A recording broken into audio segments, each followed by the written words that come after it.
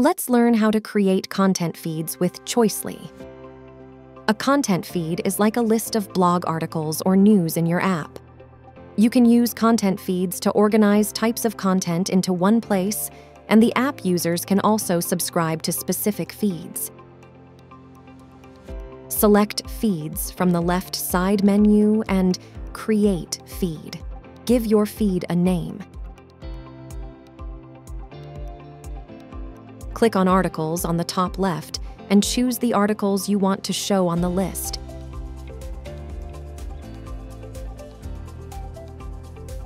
Click Add Articles. Thumbnails of your articles will appear.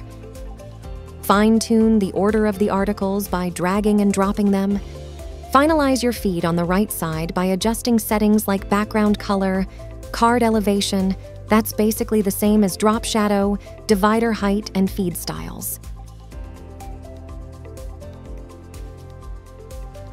You can also activate push notifications for new articles on this feed, so app users get notified when there's a new piece of content in the feed.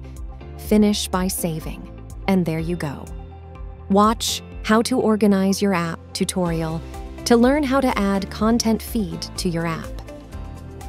As an additional service, you can also ask the Choicely team to create an automated feed of content feeds on your website, social media, or video services, so new content appears to the app automatically.